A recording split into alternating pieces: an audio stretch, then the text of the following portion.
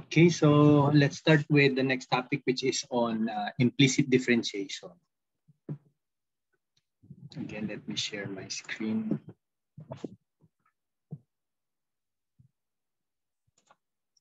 Okay. So implicit differentiation from the name itself, uh, it's still the same thing. We are still going to get the derivative here. the only problem here or the only difference here is that uh, before di ba ang kinukuhanan natin ng derivative is that the function is already solved in terms of in, in terms of one variable. Kunwari, meron tayong y equals the the rest of the the the the other side is in terms of one variable. Implicit differentiation is also a way of getting the derivative. Yun nga lang, we don't need to have an implicitly solved uh, equation. Pag sinabi natin implicitly solved, yun sinabi ko kanina ay uh, uh, or rather explicitly solved uh, function or equations wherein yung yung one side is in terms of one variable only and the other side is just a function of another of that variable. Yung mga previous natin ginagawa lang natin kunwari y equals certain variable on the other side and then we get the derivative as. Paano pag uh, yung mga variables natin magkasama-sama? How are we going to get the derivative? So to do that, ang gagawin natin is we call implicit differentiation. Okay?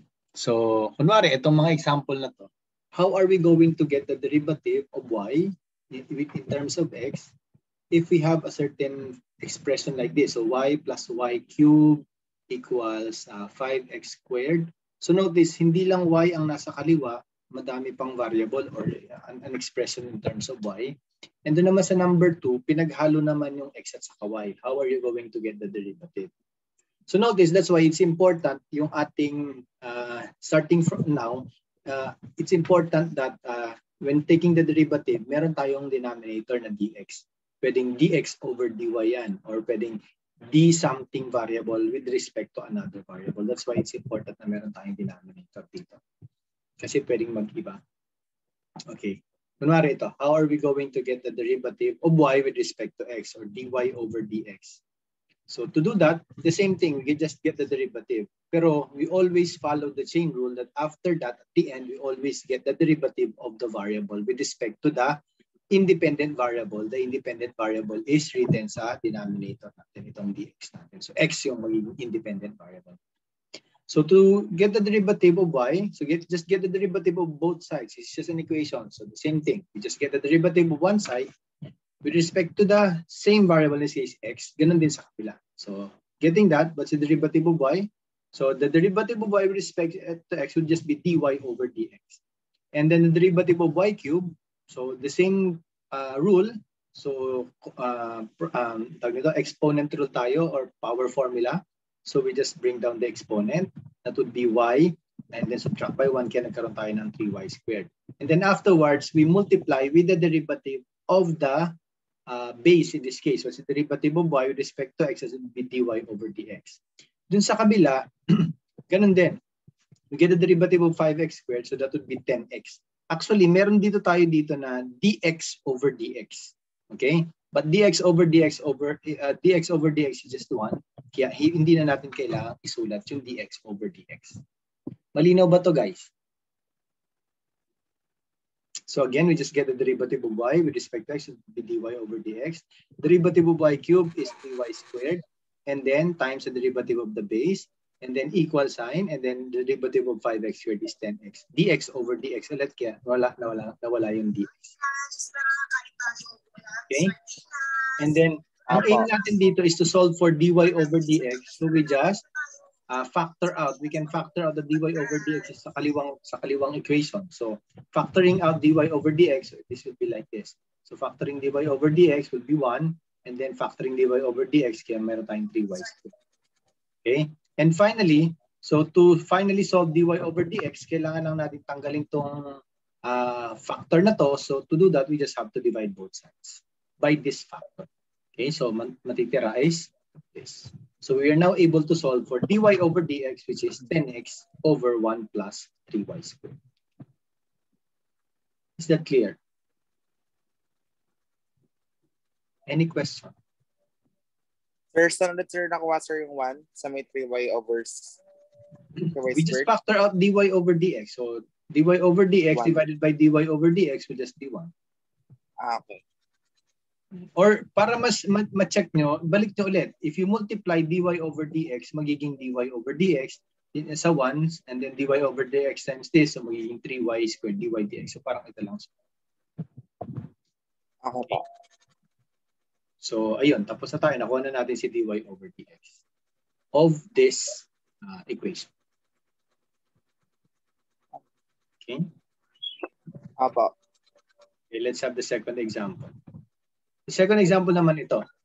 Medyo komplikado ng konti kasi pinagsama na yung variable. And at the same time, notice we have may product na dito. So pag may product ng dalawang variable, uh, we always do the product rule. Tandaan natin yun na yung product rule.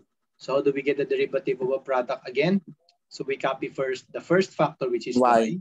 Derivative over d. Okay? over uh, times the derivative of the second factor plus copy the second factor derivative of uh, y. So ito yon. So y, copy the y, take note, and then derivative of ln x is 1 over x, dx over dx ulit yan. Kaya 1 na lang ulit. Dito naman, derivative, uh, we copy the second factor ln x, and then derivative of y with respect to x, so that's why d, we have dy over dx. And then on the second term, yung y squared, derivative oh, ng y squared will be 2y, again times the derivative of y, which is dy over dx. Dun sa kanan, we just have a 5, so this is constant. The derivative of constant is 0. Kaya 0 yung nasa kanan. Okay, next. Ang kailangan natin dito is dy over dx. So pagsasamahin natin yung may dy over dx, yung walang dy over dx, ilipat natin sa kabilang side. So magiging ganito lang siya. Ay, sorry. Uh, sinimplify muna. So, ito pala yun.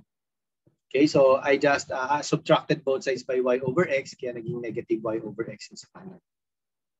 Okay, and then finally, or next thing is, we now solve for dy over dx, or we just factor out dy over dx.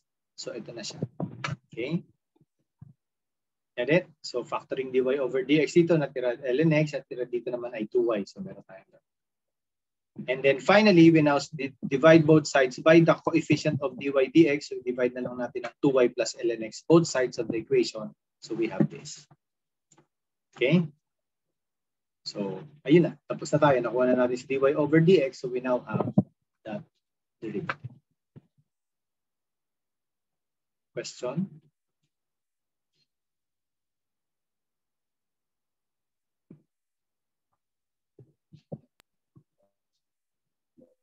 Sir.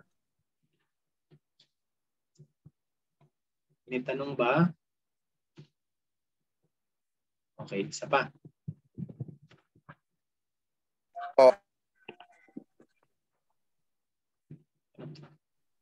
Sorry, what's this? Okay, so let's have another one. Let me stop this one. I'll try to look for the other example. Okay.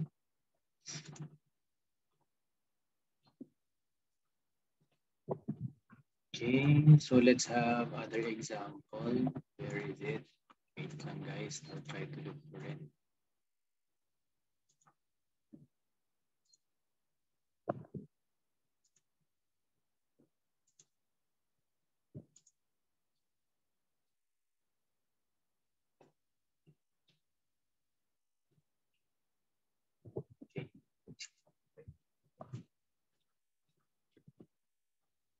Okay, let's have this.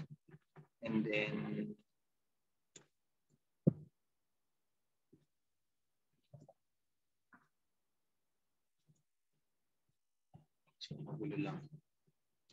Anyway, let me just write it down kasi medyo magulo yung pagka-percent ng next one.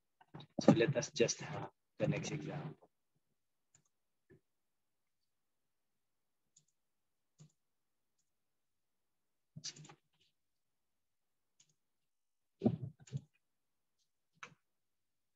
Okay, so ready? At least I can write. Yes, sir. So let me share this. Let me share a black screen para doon na lang ako magsusulat. Can I have a Dito na. Okay, so let's have another one. So kanina may product. What if ilagyan naman natin ng quotient? Mari I have uh, say y over x. Okay. Say plus uh, let's place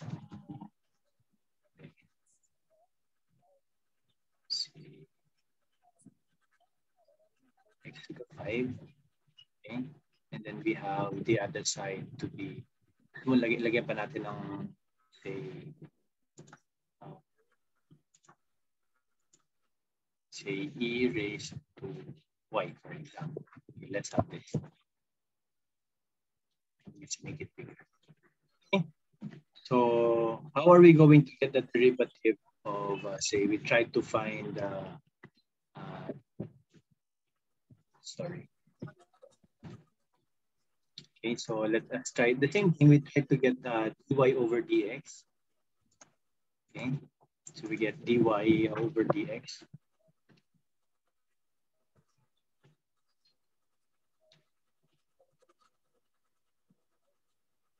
So how do we do that? So ang gagawin natin is the same process. Okay, so kapag quotient, let's start first with the quotient, guys. So let's remove this. Okay? So wala yung ating. Okay, so sa quotient, how do we get the derivative of a quotient? So again, first is we have to square, di ba? Square. Okay, okay, may square tayo dito ng denominator. So we square x squared. And then uh, high, right? Remember? So copy the denominator times the derivative of the numerator. So the derivative of the numerator will be derivative of y. In this case, that would be dy over dx. Can you follow? Minus, we copy the numerator, okay? And then the derivative of the denominator was the derivative of x. That would just be 1, right? Can you follow?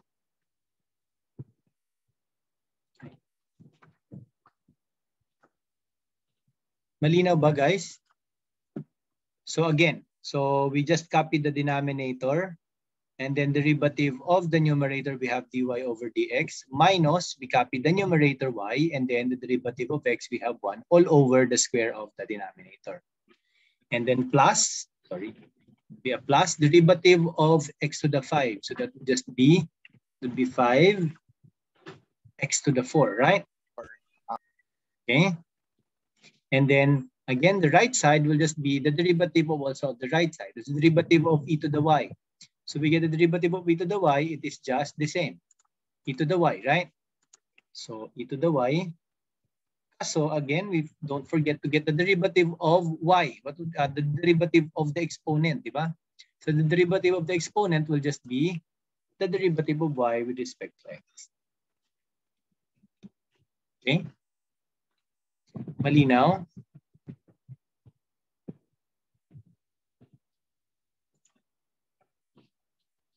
Question? So again, it, ang ginawa natin, itong part na to is just the derivative of this. Ito naman, derivative nito. And then derivative of e to the y will just be e to the y times the derivative of the exponent, which is the derivative of y with respect to x. So ang aim natin is, uh, we now have to solve for dy over dx. Di ba? So pagsasamahin natin siya. So to do that, first is, uh, separate muna natin tong fraction na to. So if you write it down, ito, pwede ko nat natin tong tanggalin. Okay. Delete. Okay. And then, uh, parang may minus pa rin tayo dito. Okay. So, minus, wait, wait for it, guys. Okay, so ganyan siya, di ba? So what I just did here is I just uh, break down the denominator or the numerator. Parang hiniwalay ko lang yung numerator. So I just have to have this over x squared minus y over x squared. Kaya nagkaroon tayo dito. Tanggalin na rin natin itong 1. Okay. So, okay. Para madali ito. So we can now simplify this. Hmm. So matitira na lang dito. So x over x squared. So mawawala na itong x dito sa numerator. Okay. And then matitira na lang dito will be x. Can you follow?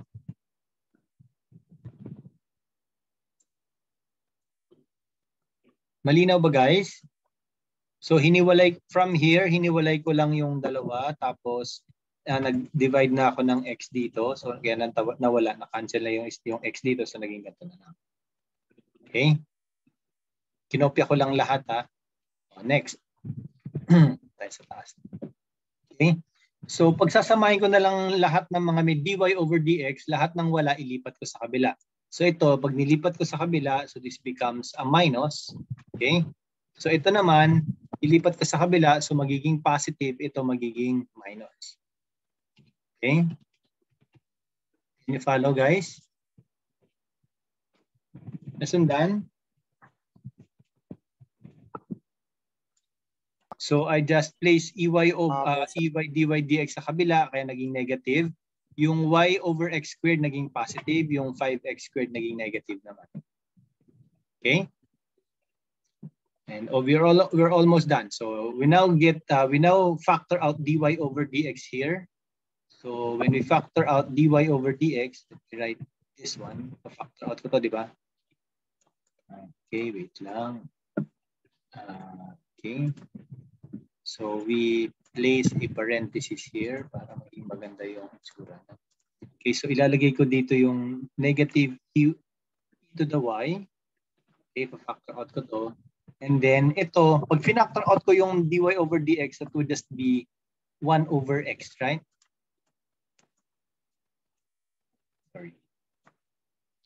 So matitira dito is this. And then I factor out dy over dx would just be 1.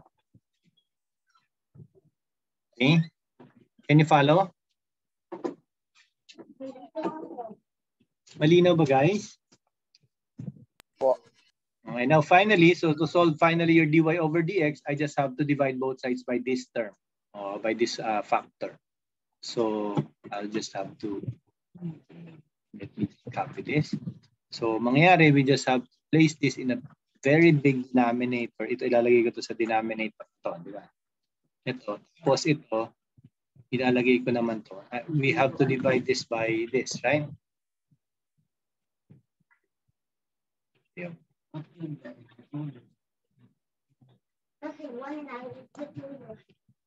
Okay, lagay natin. Okay? Ayun. Pili na natin yung hello art. Oh. Sorry. Wait lang guys. Oh, wala yung aking. So, let me just place down there. Kaya nawala yung isang term natin dito. So that would be a 1 over x minus to the y. Okay, so let me remove the parentheses. I forgot. So, remove the parentheses. Uh, okay. Hello guys, I'm having class here, so please. So we have this. Okay, so we're done. Okay, question?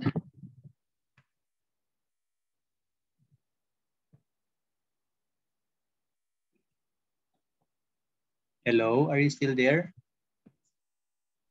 Yes, sir. Yes. Malinaw? Yes, sir. Malinaw po? Sundan po, sir. Hmm? Malinaw po, sir. Okay, very good. So let's have another one. Gusto niyo pa ba? So, Opo, sir. okay, one more. Uh, let's, ano pang may suggestion ba kayo? Baka meron kayong gustong ipasolve. Yung naisip kayo, bakit?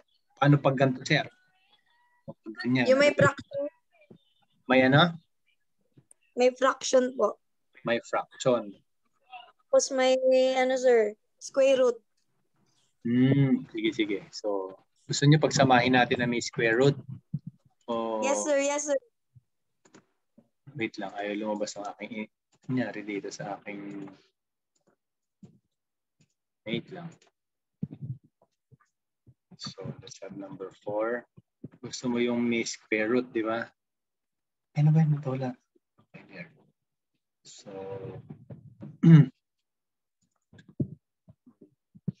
square root. Okay. Ilagay pa natin sa fraction. Gusto mo ganyan. Oh, masaya ka na dyan. So, kunwari x uh, ay y over x natin na plus 3. Okay, and then we have on the other side, uh, ln naman. So, kunwari ln of uh, ln y. Okay, okay na ba yan? Did I satisfy you of this problem? Okay na ba to guys? So we need to solve again the same thing. We need to solve for dy over dx. Yes, sir. Okay, okay na. So how do we solve for this? How do we find for the derivative of y with respect to x? Let me just copy this again para madali ako mag-type. Okay, so to get the derivative, so ang gagawin lang natin again is we perform the derivative. Wait, okay. So there are a few ways on how we can do this. Pwede natin tong ihiwalay or pwede nating as is lang. Anong gusto nyo? Uh, since this is a square root, pwede nating i-square root muna yung numerator over the square root of the denominator para we can perform uh, quotient rule. Or pwede nating i-perform yung uh, power formula and then afterwards we perform the quotient rule. So pwede naman yung problema doon. Okay, sorry about that. Na lang muna sir yung quotient rule, sir. Okay, quotient rule muna. Unahin na lang po muna yung, apo, yung quotient rule po. Okay, sige. Okay, so first is uh, I can write this as in a fraction first. So pa- parang mangyayari Okay, so tatanggalin ko muna yung denominator. So, magiging y plus 3 lang muna to. Okay. Ito naman, magkakaroon tayo dito ng x na lang. Pwedeng ganito. Oops, oops. Okay, ganyan. So did you get that guys? So parang ang ginawa ko lang dito is I just uh, uh, perform division or parang uh, uh, dinistribute ko lang yung square root over the numerator. So mangyayari dito, magiging quotient rule na lang siya. Tama? So if we try to take the derivative of this, di ba? Mangyayari, square root of x, di ba, square the numerator, so magiging x na lang. Tama? Next, so to get the derivative, uh, first is we get the numerator, uh, sorry, denominator pala. We copy the denominator and then we get the derivative of the numerator. The derivative of square root of y plus 3, so that would just be, di ba, ang, uh, uh, let me write it here. Di ba, ang square root of y plus 3, if you would remember, this will just be what? Okay, ito ay, if you write it in exponential form, uh, this is just what? Parang y plus 3 raised to what? This is raised to 1 half, right? Tama? So if take on the derivative of this, so ilalagay ko dito, derivative niyan will be 1 half. So ilagay natin si 1, sorry. So ilagay natin si 1 half. Okay, 1 half times what? The derivative of this. So magiging uh, y plus 3. Copy natin si y plus 3. y plus 3. Okay, that what would be the exponent now in this case? Pala dapat natin dito. Para may exponent. 3 up, sir. Mhm. Minus, di ba? So 1 half minus 1. So this will be negative 1 3 half. halves. 1 half. Negative 1 half. 1 half minus 1. Okay? Nakuha? Negative Tapos- 1 half. Opo. Tapos mumultiply pa natin derivative nitong nasa ah ah, nasa base. Okay? So what's the derivative of y plus 3? So that will now be derivative of y. So that will be dy over dx. Okay? And then plus the derivative of 3. So 0 lang yan. So we don't need to write the 0. Okay, minus now. We now copy this. Okay, we copy the numerator, Denominator. numerator, and then we now get the derivative of the numerator, a denominator. So the derivative of square root of x will now be again 1 half. Okay, that would be 1 half. Okay, times x in this case, the same thing. So 1 half minus 1, so magiging uh, x to the negative 1 half. Okay? And then times the derivative of x, so that kami times 1 lang siya. Hindi na natin kailangan isulat. Can you follow? And on the right side, so that will just now be derivative of ln y. Ito ay magiging 1 over y. Right? Okay.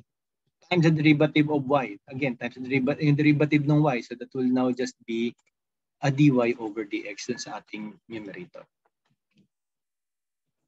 Okay? Malinaw?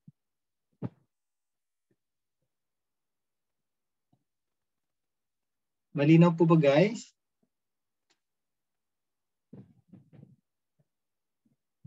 So, ano sir, nakuha sir yung y?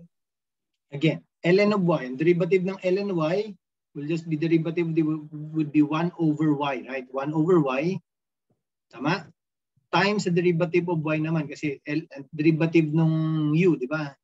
u prime. So derivative of y will be dy over dx. Okay, may dy over dx tayo doon sa numerator. Okay? So next, we perform again algebra to, to just uh, isolate yung dy over dx natin. So hiwalayin ulit natin tong nasa dito. Hiwalay natin. Then we divide. So square root of x divided by x. So parang x to the 1 half over x. So magiging x to the negative 1 half ito. Right? So let me write it as uh, x to the negative 1 half. Nakukuha ba guys? So buburahin ko na to. Sorry. This one. Okay, so mawawala na rin ito dito. Tapos ito, i-divide ko naman ito. So, uh, x to the 1, negative 1 half over x. So, parang magsusubtract. So, magiging negative ito. Negative 3. Right? So, ito na lang ang natira.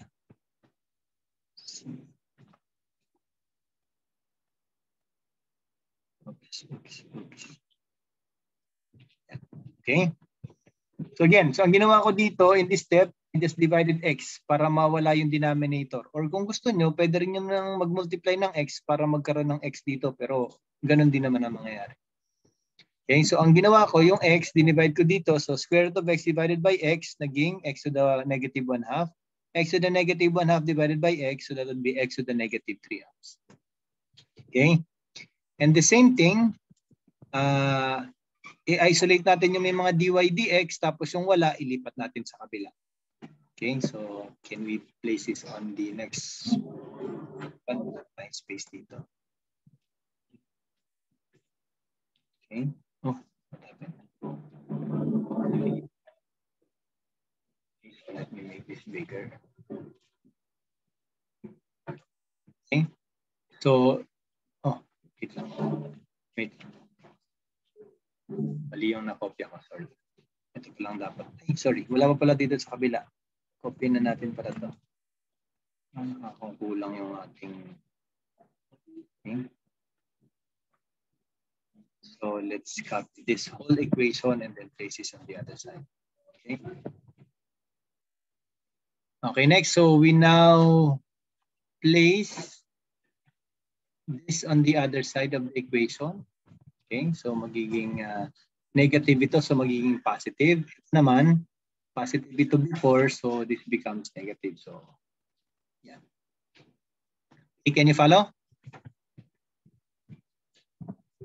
Okay, and then next we now uh, factor out again the dy dx. So if I factor out the dy dx here,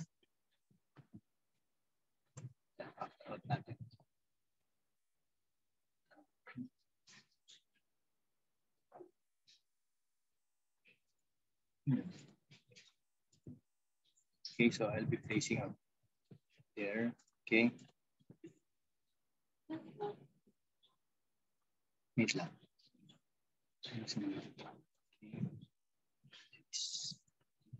There. Okay. So, pa-factor out natin si dy over dx. So, kung tatanggalin ko to, dito, magiging 1 na lang to, di ba? Ito, tatanggalin ko na rin siya. Okay? Yan.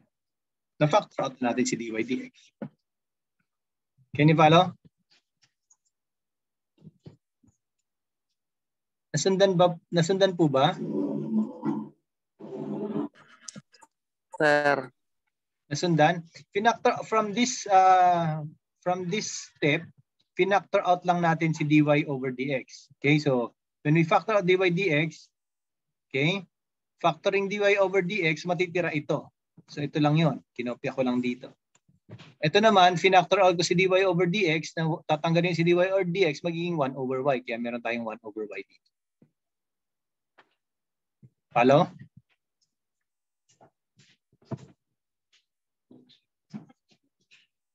Okay, and now finally, we now just have to get dy over dx. So we just divide both side by this term. So we place a fraction here. We place this doon sa numerator. Ilalagay natin naman sa denominator. Okay, and then we're done.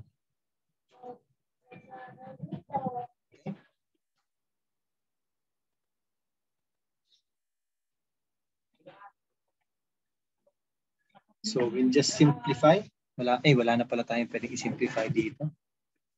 Kasi this is a uh, two term. Baka ito, i-divide nyo to ito. Ha? Hindi siya pwede kasi meron tayong 1 over y dito. Okay, question?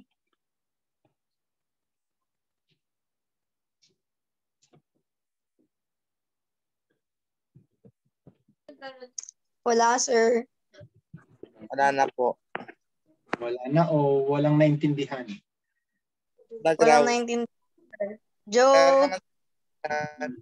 Sasakit ka dyan. Maayos ka, miss nila. Okay, kung may tanong, ah wag mahiya po ha. Okay, isa pa. Oh, last one. Pa, Ano pang... naligaw ako. eh. Okay, isa pa. One more. Ano pang gusto niyong example?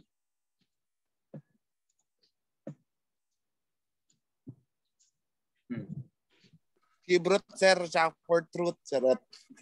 Okay, so wala namang problema doon. So lagyan daw natin ng cube root. Sige, lagyan natin ng cube root. Ah, cube root of fourth root, sir. uh, Content, charot. Mari ah, x ah, plus y. Yan. Tapos minus o gusto mong gawing fourth root naman. Fourth root daw. Fourth root of say anong gusto mo? Say uh, gawin natin ah, lagyan pa natin ng exponent sa loob. Mari x to the 4 and then x x cube kunwari. And then minus uh, 6 sa kabila. Ano pang gusto mong gawin? Hmm. Equals 2. Yan. Okay na ba yan? Apo, sir. Okay. So how do we get the derivative? So the same thing, dy over dx ulit. Actually, medyo simple lang ito. Pero, okay. Paano natin kunin ang derivative nito? So, note again, ito exponential so exponential form lang ito. So, paano natin kunin? Ang derivative niyan, uh, one-third lang yan, di ba? So, mangyayari, sorry, wala si aking, okay, so ilagay natin si one-third. One-third. Tapos ito, gawin natin siyang exponential. Okay, exponential. So, okay, sa bracket, okay, x plus y. Okay. Ano mayari sa exponent natin dito? So, one-third dito dati, di ba? So, minus 1 magiging, one-third minus 1 magiging ano? Sige nga, magtatawag nga tayo. One third minus one. Ayan, simpleng tanong. Ah, oh, Daniel, Miss Dimalanta, one third minus one. Sir naman, grabe naman, ba't ako? Joke lang. Colored one third minus one. Parang balik lang tayo grade 3 nito ah. O one third minus one. Ano, sir? Negative two-third. Oh, yun naman pala eh. Ganun lang naman, negative two-thirds. Okay. Next is, hindi pa tayo tapos. So, di ba ito pala yung derivative nung power and then we now multiply with the derivative nung base. So, multiply natin ulit uh, with the derivative of the base. So, we place it in a bracket. Ay, sorry. Lagyan natin sa baba. Okay. Derivative pa nung nito. What's the derivative of x? Derivative of x ay 1, right? Ay, magsulat. Okay, and then plus. Derivative ng y. Okay. So the derivative of y will just be dy over dx. Right? Can you follow? And then doon naman tayo, derivative naman itong pangalawa. Okay, next is derivative naman nung pangalawa. Again, 1/4 yan, di ba? So, ang n natin doon would 1/4. And then we place parentheses. Again, magiging uh, x cube. Copy natin yung base, x cube minus 6. Okay, and then nakalimutan natin lagyan ng exponent. So, lagyan natin sa exponent. Okay, and then uh, 1/4 minus 1. 1/4 minus 1. Ikaw naman, Mr. Dagala. Dagala, andyan ka pa ba? Negative 3 fourths, sir. Ayun, very good. Negative 3 fourths. Okay? Tapos na ba tayo? Hindi pa, di ba? So we still have to still have to get the derivative nung nasa loob. Anong derivative ng x cube? So magiging that will be what? Derivative ng x cube? So that would be 3x squared, sir. Ay, very good. Yan na si Gumbian. Ayan yung... Okay? So, 3x squared. X squared. Okay? And then minus derivative of 6. So, that would be minus 0. So, hindi natin kailangan isulat. And then finally, yung naando naman sa kanan, what's the derivative of the constant? So, this becomes 0. Okay? Malinaw? So, ang aim na lang natin dito is to isolate yung dy over dx. Okay? So, to do that, first is we first expand this. I-distribute muna natin ito dito. So, 1 times this. So, ito siya, di ba? So, 1 times, it, 1 times itself, so this would just be this. And then plus dy times that. So, mangyari, uh, magkakaroon na tayo lang tayo dito ng plus dy, control C, control V, and then this.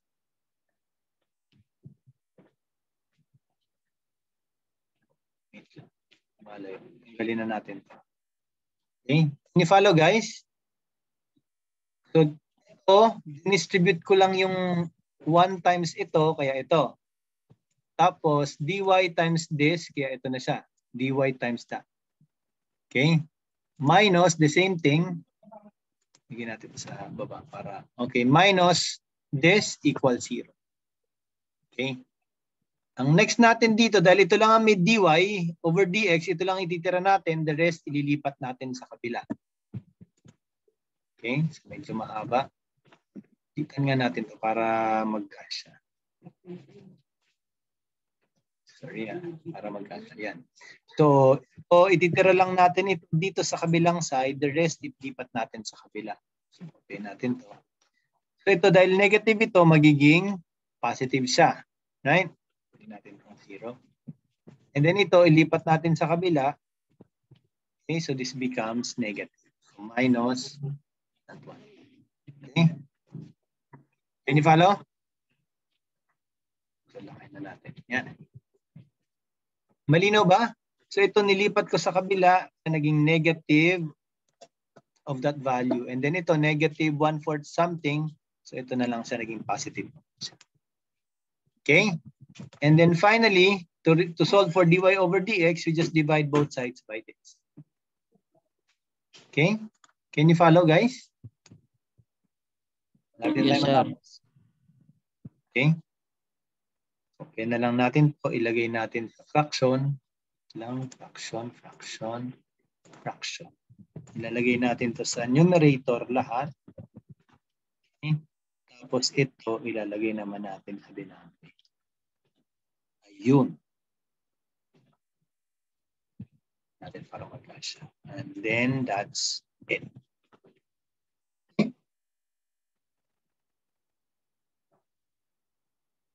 Question?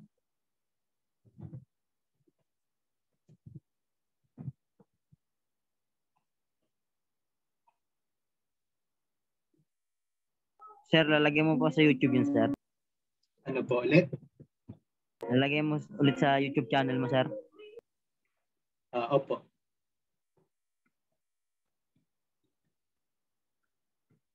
Okay po, sir. Okay, so 19, may tanong po ba? Baka may tanong. We can still simplify this further. Okay lang, maybe this one-thirds na to pwede nating tanggalin and then itong mga constant pwedeng i-simplify pa yan. And so on. Ito pwede pa natin pag ah, ilagay isama dito and so on. So on. Ito pwede pa natin tong i-divide. So notice we, we can divide this, magiging 1 na lang ito. Dito na lang natin pagsamahin. That will also be fine. So algebraic na lang yan. So kayo nang mahal. Okay. May tanong pa ba? More? Kaya pa? Or pahinga na muna?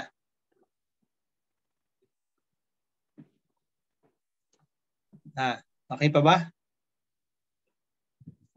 Buhay pa, sir. Okay pa. O, sige, sige. So I think uh, medyo madami naman yung example na yon. And then uh, uh, by okay, so unless you have question, itanong pa ba? Wala na po. Okay, wala na. So let me stop the record.